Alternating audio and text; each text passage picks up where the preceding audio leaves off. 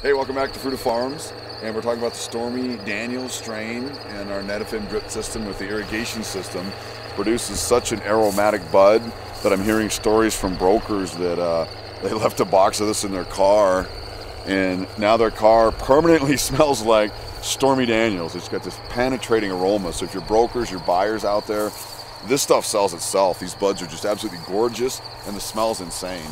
So once a sample is in a buyer's hands, this stuff is gonna sell like hotcakes. So yeah, good aroma, uh, beautiful buds, and lots of them. 20,000 pounds, Fruita Farms.